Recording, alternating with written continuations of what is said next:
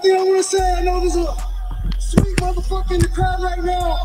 Well, he can star in the episode of Fuck Master, baby. Sugar Show, where the fuck you at, bitch? Before we bring out Sugar Sean, Aljamain, what was the game plan coming into this fight, and what, if anything, was surprising? Henry's takedown defense, I knew it was going to be tough. But like I said, that Olympic gold medal doesn't count for shit in the octagon. He stopped a lot of my takedowns, but persistence is going to keep on shining, and that's what we did. Stay persistent, keep gunning for that takedown. I think that's where I won the fight. The striking, look at my face, look at his, and you can see who it the harder shreds. Well, Aljamain, this is obviously a huge victory for you. Henry is a real legend, a two-division champion. Now you retain your title, and you will have a chance to defend your title against the man we're about to bring in here right now. So, ladies and gentlemen, please welcome Sugar Sean O'Malley.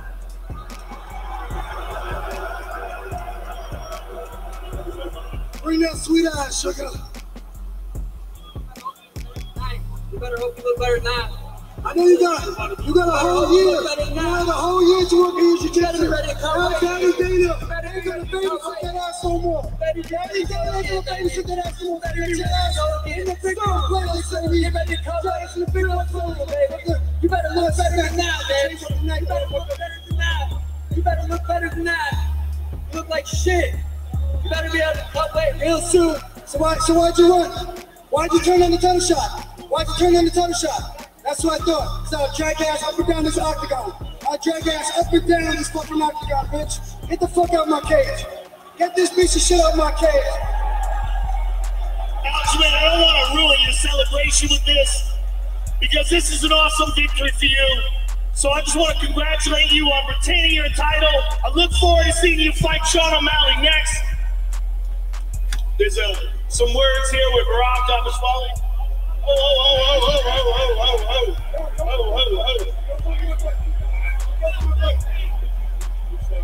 All right, let's separate everybody here, ladies. Wow. Pandemonium at UFC 288. Aljamain Sterling. September. September. September. Signed, delivered, and sealed, baby. Signed, delivered, and sealed. September. Wow. Aljamain Sterling. Well, the next fight is clearly set up, and clearly it's a grudge match. Aljamain, just still, I want to. Hey, I'm not in here pretending to be no Mike Tyson. I'm not pretending to be nobody else. All I can be The crowd ain't feeling them. Be. You step in the cage and drag your ass up and down the octagon, and that's it. You don't like it, can do something about it. Ooh, I love it. Yay. As you guys just heard, Aljamain Sterling has just defeated Henry Triple C Cejudo by split decision. Really, really competitive fight. Really, really good fight. Salute to Triple C though, man. After three years off from the sport, he comes back and faces the best guy that he could absolutely face in Aljamain Sterling. Really, really good fight. But Aljamain Sterling, man, he's been running through these guys, right? He's been beating the, the top guys in bantamweight for a while now. And I do believe he's the champion. Um, but he's just at times it seemed like he just get really sloppy. It seemed like Aljamain just get really sloppy in there.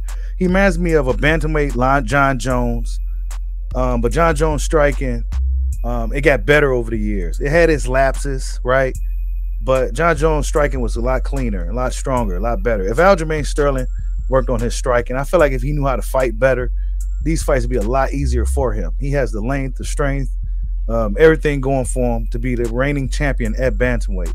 Um, but the crowd ain't feeling Aljamain Sterling, and I believe um, that's his region of the world, right? That's his region, New Jersey, the East Coast. I believe he's from New York, upstate New York, or something like that. So they close, and they was rooting for Cejudo, who I believe is from somewhere out west. I believe, right? Uh, maybe South, uh, Texas, somewhere around there, South, uh, Southwest. They was rooting for Cejudo. So yeah, Aljamain Sterling.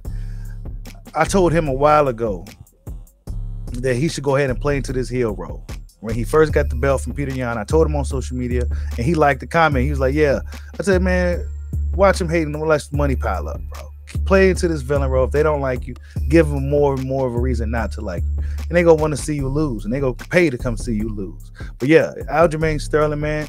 Um, if he keeps this up, though, he will go down as one of the best bantamweights. I believe he beat Sandhagen, he beat Petr Yan twice, he beat uh, Triple C. I believe he beat TJ Dillashaw. Dillashaw, correct me if I'm wrong there. Um, and whoever else he had to beat, right? I mean, yeah. So Aljamain Sterling, Aljo, he's doing his thing at bantamweight. Um, you heard what he said to Sean O'Malley. Sugar Sean, that should be a great fight. Sugar Sean is a stud. I can't wait to see that um, this upcoming September. Like, subscribe, hot your boy. Peace out.